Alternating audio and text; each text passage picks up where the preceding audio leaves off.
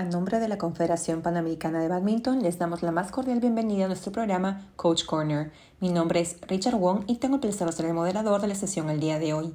A nuestra comunidad hispanohablante y francófona, en esta sesión tenemos el placer de contar con dos de los investigadores más importantes en badminton de Brasil. Me refiero a Saulo Oliveira e Igor Vasconcelos, quienes el día de hoy nos hablarán sobre un tema muy importante. Perfil metabólico, fuerza, potencia y cambio de dirección de los atletas de badminton? Bueno, eh, espero que todos estén escuchando bien. Es una satisfacción más una vez, más un día, poder compartir con todos vosotros eh, un poco de nuestras investigaciones. Bueno, eh, esta segunda parte Part 2, eh, nosotros optamos por eh, tal vez explicar un poco más eh, la finalización de la parte 1 de la semana pasada, la presentación de la semana pasada. Entonces, yo voy a recordar un, un poco apenas lo que fue la última semana, especialmente la parte final, Depois, vamos eh, nos concentrar principalmente nas informações eh, eh, voltadas, eh, direcionadas para o câmbio de direção. E finalizaremos depois com a participação de, do, de meu colega Igor. Eh, desde, desde já, eu invito a todos a acessar as redes sociais da Panam, mirarem a apresentação, na primeira apresentação, para possivelmente algumas questões, questões e alguns detalhes estarem mais aprofundados na parte 1 do webinar. Bueno, então, esta é a nossa organização. Como eu falei há pouco, uma revisão da parte 1, os resultados, informações muito direcionados al protocolo, al prueba de mudança de direção. Depois, um pouco do perfil, eh, do profile da força, velocidade potência, principalmente, de uma comparação que nós já tivemos a felicidade de realizar na primeira parte já da pesquisa que está sendo realizada este ano. E encerraremos com algumas perspectivas futuras, quem sabe para a próxima rodada já esse esse ano do Grant da BWF. Bueno, recordando um pouco da nossa apresentação, é interessante, é importante relembrar que o protocolo que nós outros adaptamos, é inspirado em estudos, investigações anteriores, realizadas com o badminton convencional, não, não para badminton. Então, o protocolo de esforço, nossa intenção, eh, primeiramente, é caracterizar o esforço fisiológico, as respostas fisiológicas e metabólicas de atletas e para badminton. Então, para esta esta meta, para alcançar este objetivo, nós outros eh, adaptamos um protocolo, está eh, demonstrado aí nesta figura, composto por dois blocos idênticos da mesma atividade. Ou seja, é uma, uma simulação de um partido de, de badminton, respeitando as diferenças entre as classes funcionais, que estão relacionadas também das eh, com as incapacidades, discapacidades físicas, perdão. E esses dois blocos são eh, foram organizados como de maneira distinta entre uma tarefa de câmbio de direção composta por eh, oito movimentos na máxima velocidade e repetidos dez vezes seguidos, logo imediatamente, logo após este protocolo, seguido por um rally cujo objetivo é, é manter o esforço físico do deportista razoavelmente moderado, um pouco intenso, mas não muito intenso.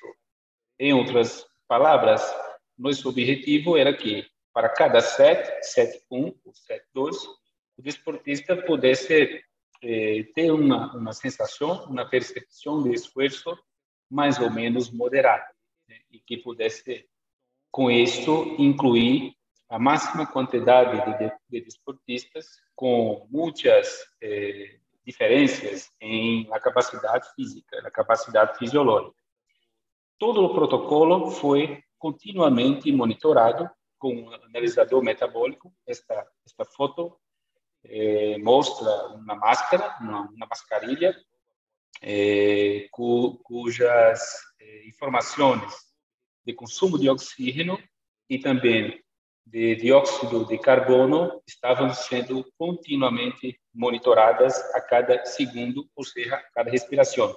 É um protocolo eh, prático e muito ecológico, próximo da realidade do deporte. Além disso, além das informações metabólicas, das trocas gasosas, também eh, estávamos monitorando a frequência cardíaca. Todo o protocolo, em média, durou cerca de uh, ah, 30 minutos.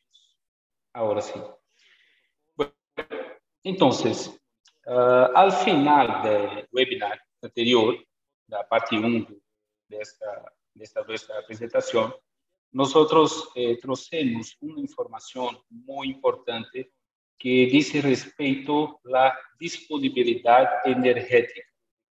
Eh, para qualquer tipo de atividade física, atividade esportiva, é necessário que o deportista esteja preparado, eh, seja, esteja devidamente alimentado, descansado, para suprir as necessidades energéticas e a diferença entre a necessidade do balanço energético composto, como a figura mostra muito bem, composto pela taxa metabólica de repouso, pela necessidade calórica eh, normal e principalmente para manter as eh, as funções fisiológicas somado a essa atividade um pouco também da atividade física ou da atividade esportiva específica que o atleta ou deportista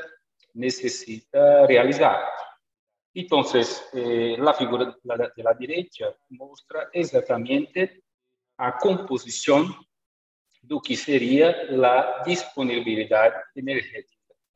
Esses autores abaixo eh, citados, Areta e seus colaboradores, eh, eles recomendam que essas informações de disponibilidade energética estejam mais ou menos ou aproximadamente em torno de 30 ou 40 nessa eh, aproximação quilocalorias por massa magra, ou seja, por massa muscular. Para isso, é proposta umas equações, existem alguns modelos matemáticos que permitem este tipo de, de cálculo, de, de, de monitoramento, algumas diferenças, eh, diferenças pequenas entre cada um deles, e no em nosso estudo nós utilizamos exatamente a terceira definição algébrica. Está demonstrado nesse quadrante vermelho, logo acima. E para esta, para este cálculo é, é necessário é, perceber que há um ponto de corte, ou seja, uma taxa recomendada em quilocalorias por massa muscular dia que são aproximadamente em torno de 50 quilocalorias.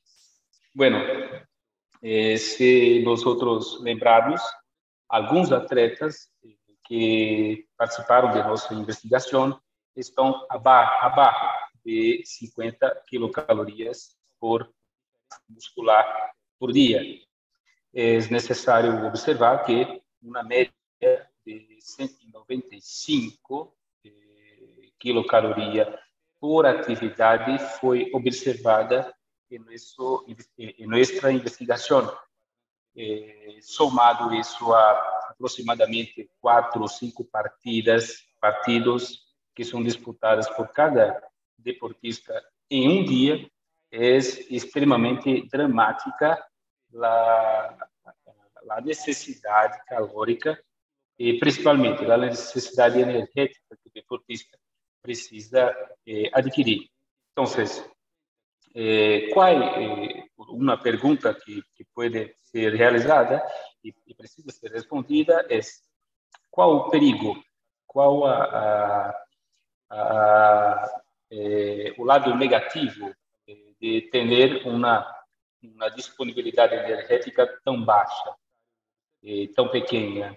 É eh, o principal de qualquer deportista, a principal preocupação e também de cada treinador, for each coach, is, eh, é, é a queda, a diminuição do desempenho.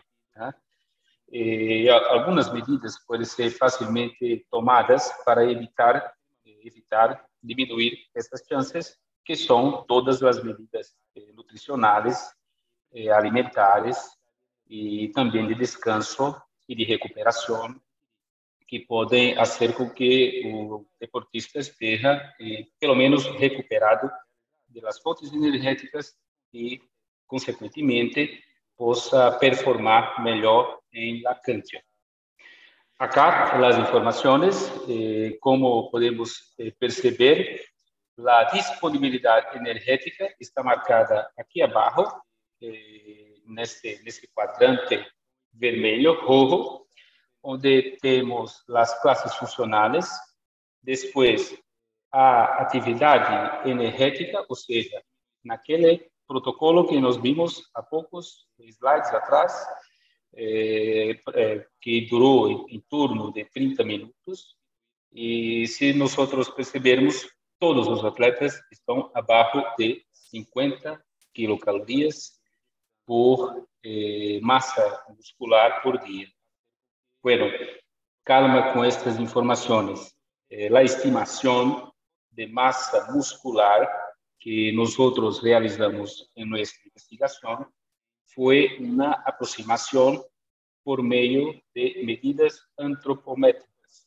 E estas medidas têm, eh, obviamente, eh, importantes pelo método de medição, pero não deixa de ser uma informação importante que já já já pode ser utilizada e compartilhada com todos os coaches e todos os treinadores eh, que possam assistir a esta apresentação ou então eh, pelos deportistas que também possam compartilhar com eles.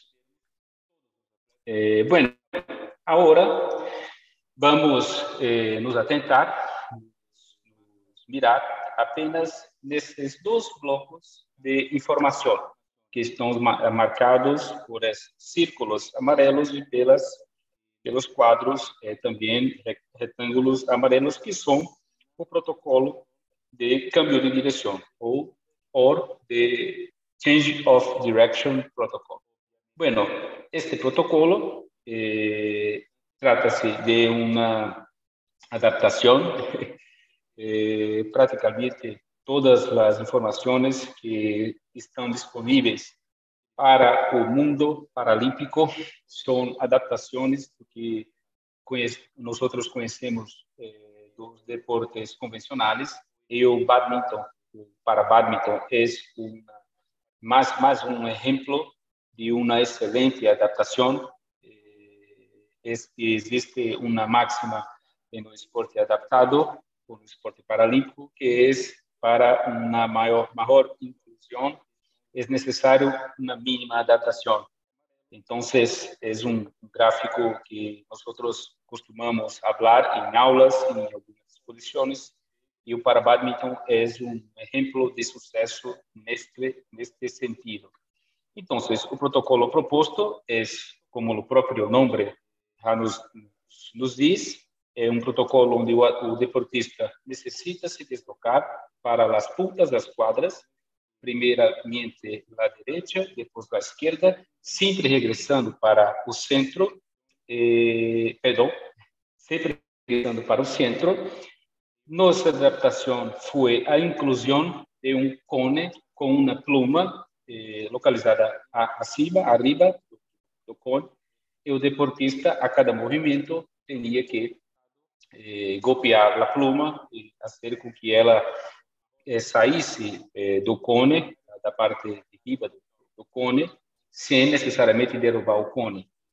E todas as informações contidas aqui foram realizadas apenas com o uso de um cronômetro, de um cronógrafo eh, profissional, mas eh, muito facilmente pode ser eh, reproduzido utilizando qualquer outro equipamento similar, logicamente com o mínimo de, de, de controle e também de, experiência por parte do avaliador. Por este protocolo é necessário eh, que é, é, é possível que nós outros traçamos quatro variáveis que são essas que estão aqui marcadas: o melhor tempo, o tempo total uh, após as 10 repetições, o pior tempo também e a diferença entre o melhor para o menor tempo, que é considerada a fatiga ou o índice de fadiga ou fatigue index, como queiram eh, chamar. Bueno, então, o que que observamos?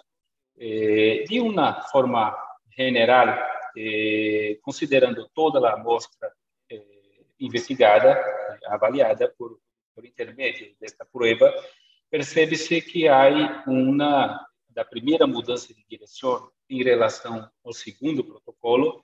Lembramos, é importante lembrar que recordar que entre os dois protocolos estão um rally, um rally eh, moderadamente intenso, ou seja, nada muito eh, cansativo para o deportista, mas eh, já eh, podemos perceber uma modificação nos tempos a cada tentativa, a cada repetição realizada, sendo o primeiro câmbio de direção uma uma angulação muito mais linear em consideração levando em consideração as várias repetições eh, no segundo protocolo, na segunda repetição, já observamos uma, uma quebra da linearidade, e isso por algumas razões. Estas informações eh, são, eh, observadas, foram miradas para todas as, as classes funcionais, vamos eh, ver um pouco mais adiante. Ou seja, o ângulo entre o melhor, melhor tempo e o menor tempo sempre em relação à repetição número 12, um pouco menor em comparação com a repetição 1. Bueno, considerando as classes Wilshire, observamos que eh, há uma linearidade maior em relação à classe WH1, os deportistas da classe WH1, em comparação com os deportistas da classe WH2. Bueno, eh, parte dessas informações podem eh, talvez nos informar que há uma mistura muito maior, ou seja, ma ma maior nos desportistas que disputam a classe WH2. Ou seja, o número e os tipos de discapacidades são maiores. Então, este é um fator de confusão eh, nas análises eh, e também se constitui em uma informação muito importante para considerar o impacto das discapacidades sobre o desempenho. Ao que indica, considerando a mudança de direção, os cambios de direção, eh, a classe WH2 acaba sofrendo um pouco mais com estas eh, diferenças. Bueno, Agora, as duas classes, eh, SL4 e SL3, uh, existe uma redução linear, considerando ambas as classes. Isso, obviamente, quando observamos com, com mais cuidado a primeira repetição da mudança de direção, e todos os atletas na mudança de direção há uma quebra da linearidade. Isto eh, eh, mais um exemplo da influência, neste caso, talvez menos da incapacidade e mais da atividade moderada relacionada ao rally, que foi proposto entre a primeira e a segunda repetição. Aqui, os, eh, como podemos perceber, as setas rojas indicam que há uma angulação em relação à, reta e à queda de linearidade entre as diversas repetições. Observando as duas últimas classes, as classes onde há uma maior capacidade motora são eh, a S5 e a SH6, também uma linearidade eh, um pouco maior, mais, pronunciada nessas duas classes, eh, pero la classe SH6 há uma pequena ondulação eh, se observarmos o primeiro bloco de mudança de câmbio de direção.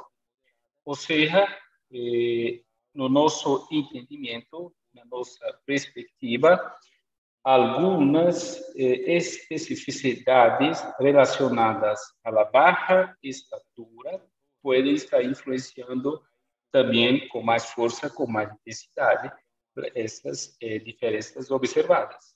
Pero as duas classes, tanto a 5 como a classe 6, apresentam influência também, uma quebra da linearidade em comparação com eh, o segundo bloco de direção em comparação com o primeiro bloco desse teste.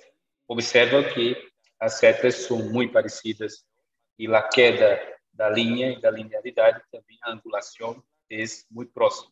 Bueno, ao verificarmos eh, comparações, realizando além da, da dessa análise eh, descritiva da eh, da performance que os deportistas apresentaram neste nesta prova, neste protocolo, eh, também realizamos comparações eh, importantes. O, o que há de interessante nessas informações? Al compararmos as diversas classes, algo que já era esperado também acabou por acontecer, ou seja, a classe WH1 e, e também WH2, ou seja, os desportistas que performam e que, e que jogam, entram na cancha e na silla de ruedas, no wheelchair, eh, apresentam sempre resultados em relação ao melhor tempo, ou seja, o menor tempo entre as 10 repetições, sempre inferiores em comparação com as demais classes. Considerando o tempo total, também o mesmo resultado foi verificado, sempre as classes 1 e 2 inferiores, eh, neste caso, tempos maiores, tempos totais maiores em comparação com as demais classes funcionais. É, algo interessante nessa perspectiva é o índice de fadiga. Isso tá aí uma variável que, em nosso entendimento, poderia também apresentar resultados importantes e, e também muito parecidos com, com as, as outras variáveis, tempo total, melhor tempo eh, pero las clases no apresentaram diferenças estadisticamente significativas. Eh, sabemos que há uma diferença, pero o teste estatístico não nos mostra. Eh, então, parece que os atletas eh, cansam ou fadigam em uma proporção similar mesmo considerando as classes funcionais, as especificidades e principalmente as especificidades das discapacidades. Pero a última variável analisada, que seria o pior tempo, ou seja, o tempo maior entre as 10 repetições, eh, novamente, as classes 1 2 apresentando tempos maiores em comparação com as demais classes.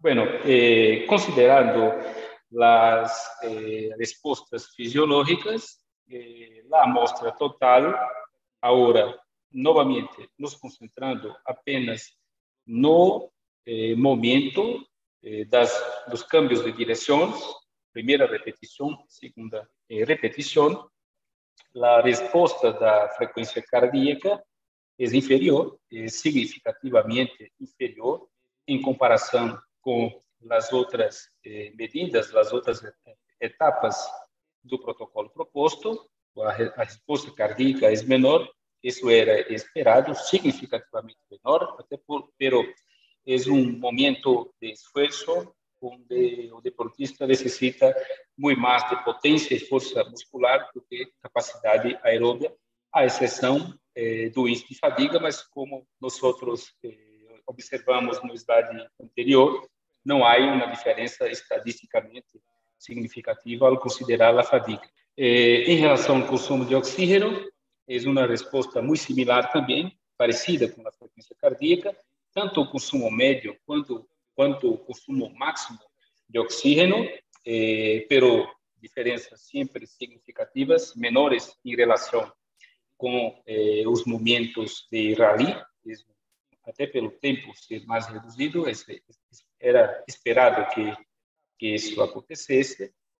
E, por último, e não menos interessante, é o consumo de energia, o gasto energético, diferente de las eh, etapas anteriores, esta informação é invertida, ou seja, há uma maior eh, um maior consumo de energia, um maior gasto energético nas atividades mais intensas, obviamente nos cambios de direção.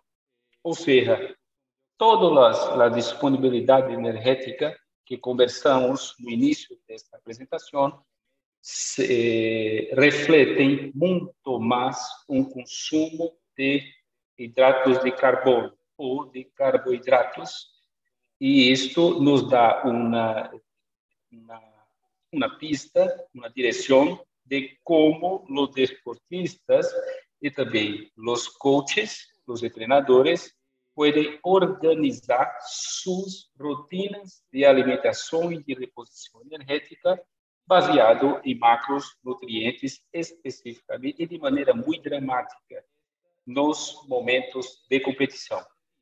E, caminhando para uh, o final de minha apresentação, eh, percebemos que todo esse esforço, aí sim, considerando a, a resposta final, o total da resposta perceptiva, eh, todos eh, os atletas estiveram sempre em uma percepção que variou entre 4 e 7. E isso era o que nós esperávamos, eh, principalmente porque o protocolo proposto ele eh, tinha um objetivo de ser moderado e isso acabou acontecendo eh, eh, conforme nós aguardávamos. Bueno, quais as, as principais mensagens que podemos levar? Eh, primeiro, é uma uma forma, o câmbio de direção principalmente é uma forma prática, simples, é, muito fácil de aplicação, que pode ser utilizado utilizada como uma forma de monitorar, de medir la, o andamento das informações, eh, principalmente nos momentos de treinamento, em uma periodização que esteja próxima do momento competitivo. Atletas 1 e 2 eh, são, eh, conforme também esperado, aqueles que apresentam informações mais reduzidas em termos em termo do câmbio de direção, especificamente estas, estas duas classes, as classes wheelchair, são classes que estamos nos aproximando mais, porque acreditamos eh, que há algumas informações ainda mais detalhadas que necessitam ser realizadas. Quem sabe o próximo grant da BWF pode ser, caminhar por esse caminho. E, por último, temos uma informação eh, relevante que é as respostas fisiológicas são, ao que parece, muito proporcionais às classes funcionais, pero não há muitas informações em relação da influência do tipo de discapacidade nestas informações e dentro da mesma classe funcional. Este, inclusive, é uma pergunta que a investigação atual está tentando eh, responder. Eh, vamos, até o final do ano, este ano, tentar trazer informações eh, novas a este respeito. Buenas tardes, soy Igor. Les voy a sobre uno de los manuscritos científicos, resultados de nuestra investigación, enviado a la revista de condicionamiento físico y fuerza. Busco verificar la clasificación funcional y tipo de discapacidad, sobre algunas variables cinemáticas y también sobre el salto vertical. Siguiente diapositiva, por favor. Nuestro primer objetivo del estudio fue comparar las variables cinemáticas del salto vertical entre deportistas con discapacidad y personas sin discapacidad. Y también correlacionar las mismas variables cinemáticas del salto con las clasificaciones funcionales de los deportistas, con y sin discapacidad. Siguiente diapositiva, por favor, Saúl. La muestra del estudio fue, de, fue compuesta por 18 voluntarios, 12 deportistas con discapacidad, 3 con secuela de parálisis cerebral, 4 con malformación congénita, 2 con amputaciones, 1 con hemiplegia congénita y uno con malformación del plexo braquial y uno con secuela de meningitis y seis sin ningún tipo de discapacidad. Siguiente diapositiva, por favor, Saúl. Bueno, todos los sujetos o todos los participantes del estudio realizaron tres saltos con el mismo objetivo y se buscaba la mejor salto. Un salto de contramovimiento con la ayuda de una unidad ISO inicial o BioBit como ustedes pueden observar en la foto de la diapositiva. Eso es un equipamiento que se tiene con un acelerómetro dentro de la cancha y este equipamiento verifica los cambios de angulación, la flexión, rotación, todo dentro del mismo variable del salto vertical. Como hablé, fue verificado la tasa de desarrollo de la fuerza, la rigidez vertical, el índice de reactividad, la potencia total del salto, la fuerza de despegue índice de impacto también fue evaluado, la velocidad media, fuerza máxima del salto y la mayor altura del salto vertical. Siguiente diapositiva, por favor. Esto es una demostración de los saltos con un atleta con amputación de la pierna derecha. Cualquier salto realizado, realizado con la técnica incorrecta se repitió. Fue definido un minuto de descanso entre intentos consecutivos del salto para minimizar los efectos de la fatiga de la persona. Como pueden observar en la figura, comienza con las dos manos sobre la cintura y luego flexiona y luego realiza un salto con la mayor altura posible. Para cada voluntario se indicaron tres repeticiones de cada. Siguiente diapositiva, por favor, Saulo. Estas son algunas de las características demográficas de las personas que fueron parte del estudio. Como pueden observar, la edad, la altura, la composición corporal, cuánto tiempo el individuo entrena por semana, el volumen, todas las indicaciones de cada individuo están en esta tabla. Puede pasar, Saulo, siguiente diapositiva. Como podemos observar en este cuadro u una diferencia estadísticamente significativa para la potencia total y la altura del salto vertical más alta se, se pudo identificar con el grupo de control y con el grupo de personas con deficiencia y discapacidad, como se puede ver en la presentación. Entonces, el salto de la potencia es diferente de los dos grupos y también la altura del salto vertical más alta también es muy diferente entre los dos grupos. Puede pasar a la siguiente diapositiva, Saulo. En otro análisis, como podemos observar, en el modelo 1, los tipos de discapacidad, como la indicación de variable, y el modelo 2 tuvo la clasificación funcional. Entonces, podemos observar que la potencia total, mejor altura del salto, fueron diferentes entre las dos clasificaciones, tanto la clasificación funcional como el tipo de discapacidad en ambos grupos. Puede pasar a la siguiente diapositiva, Saulo. Ok.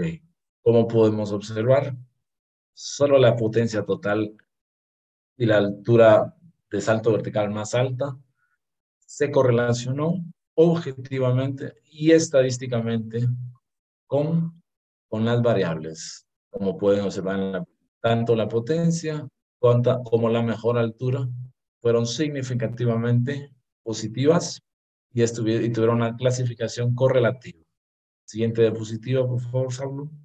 Entonces, los atletas con discapacidad pueden presentar una reducción significativamente en la capacidad del salto vertical, como ustedes pueden observar, y específicamente en variables cinemáticas que mostraron mejor control motor de la potencia muscular y también la clase funcional del atleta, de cada atleta, tipo de discapacidad, también parece influenciar, son directamente influenciables en la magnitud del salto vertical y las respuestas cinemáticas. Esto es un parámetro para cada entrenador observar en su atleta y mejorar. Pero en el caso de para badminton, es muy palpable los saltos vertical en diferentes aptitudes de los atletas. Entonces es una variable muy interesante para todos los atletas de para Siguiente diapositiva, por favor, Saulo. Bueno, es eso. Muchas gracias. Me gustaría complementar con una información, ya que tenemos todavía un poquito de tiempo. Es importante que esta investigación. Bueno, eh, Richard, eh, yo Thank you very much, Igor. Perdón, eh, excuse me. yo puedo complementar, eh, Richard, con una información. Sure, go ahead. Eh, tenemos ainda un poquito de, de tiempo, eh, imagino. Entonces, es importante que esta investigación que Igor mencionó es la primera donde nosotros eh, estamos atentando verificar o impacto da discapacidade sobre o desempenho.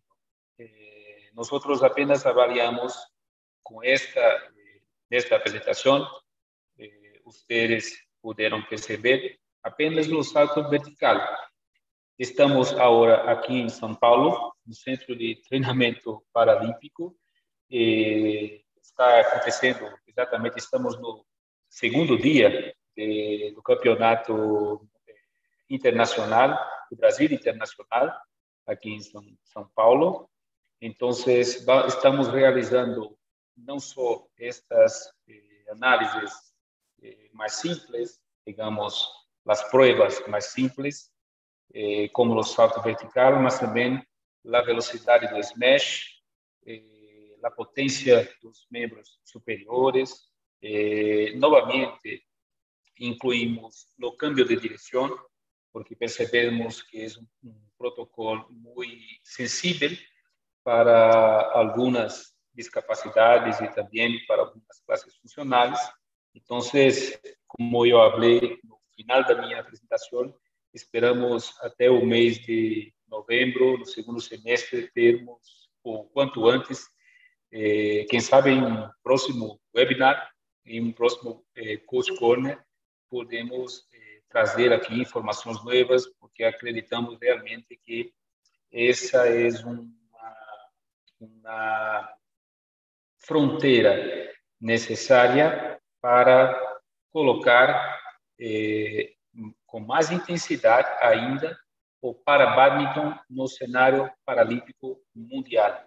Eh, isso diz respeito a uma fronteira que o próprio IPC, Paralympic eh, International Committee, eh, tem investido orientado a todos os pesquisadores, investigadores na área das ciências paralímpicas a eh, verificar o impacto da, classificação funcional e principalmente a acessibilidade que essas eh, alguns algumas provas, algumas análises podem eh, trazer para os treinadores, para os classificadores funcionais e assim adelante. Eh, diz respeito a uma uma etapa eh, de fortificação para badminton no cenário mundial, que é a classificação funcional baseada em evidências. Então, esperamos o quanto antes trazer novas informações para todos. Eh, peço desculpas, Igor, ter atravessado para complementar essas informações. Eh, estamos à disposição. Passo a palavra ao, ao Richard e também a outros que queiram participar, fazer perguntas. Muchas gracias. Okay, thank you very much, Sala and Igor. We now move on to our question and answer section. Please, if you have any questions or comments, please write them down in the chat box below. Let's see. Tenemos. Tenemos un comentario aquí. Sí, sí. De mi buen amigo Adrián. Dice, muy interesantes ambos estudios según los resultados mostrados. Se nota la importancia del entrenamiento de fuerza en los atletas de para badminton para su desempeño. También nos muestra la importancia de hacer evaluaciones periódicas en los jugadores a fin de ver sus mejoras. Eso es bueno.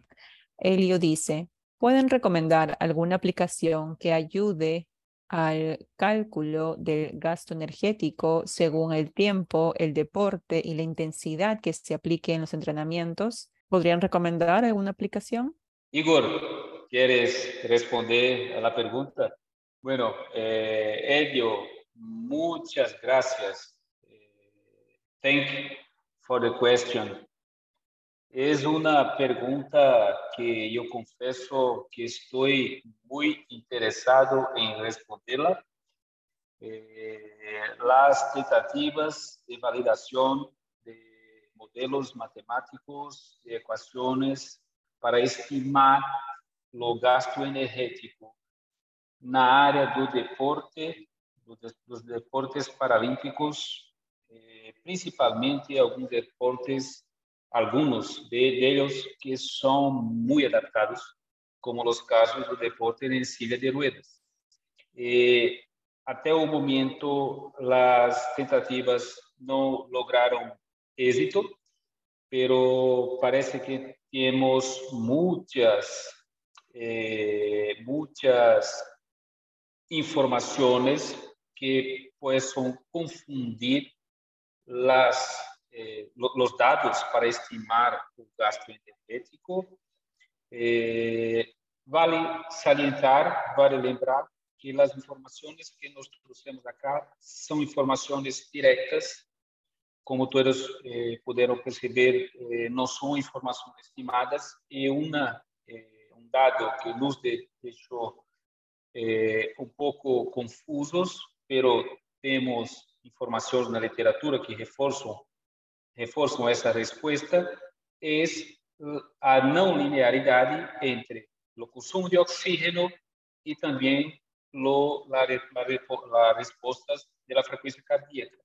Pero esta seria a informação mais simples que poderíamos eh, atentar e monitorar a frequência cardíaca.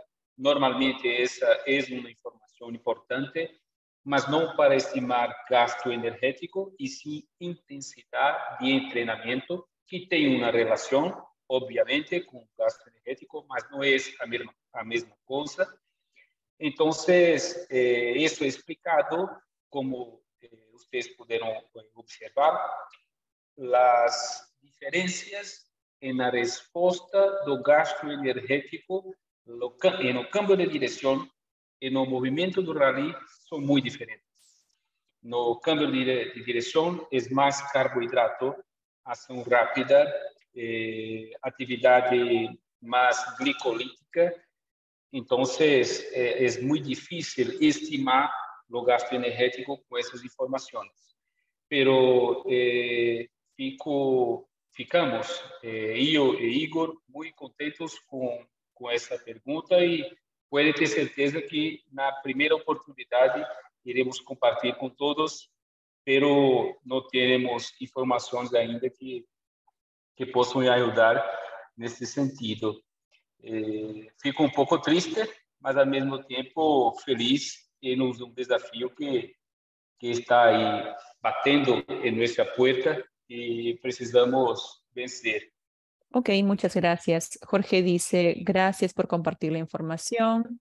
Y luego Claudio tiene una pregunta para ustedes.